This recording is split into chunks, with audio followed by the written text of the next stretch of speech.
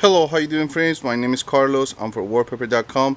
I'm going to show you how to operate the 16 by 20 heat press clamshell. Okay, first of all, we have to turn on the machine and to configure the machine, we have to have the plate open. Okay, we're going to hit the set button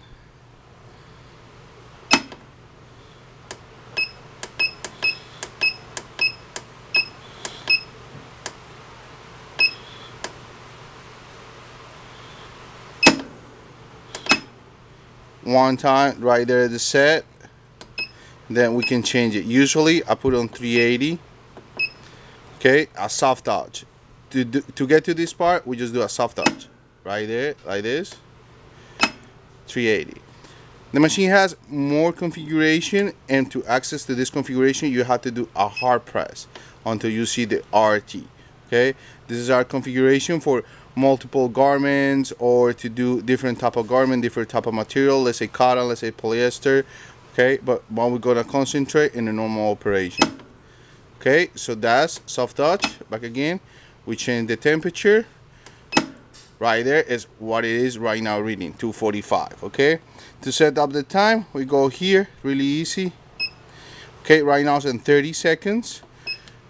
Go up and down 30 seconds. We leave it on 30 seconds we press set time okay? Once the machine is gonna start running we don't gonna see the time going down okay? Running out. We're just gonna see a counter for the teachers.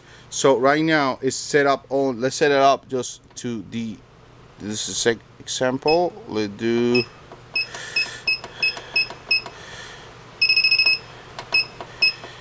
let's do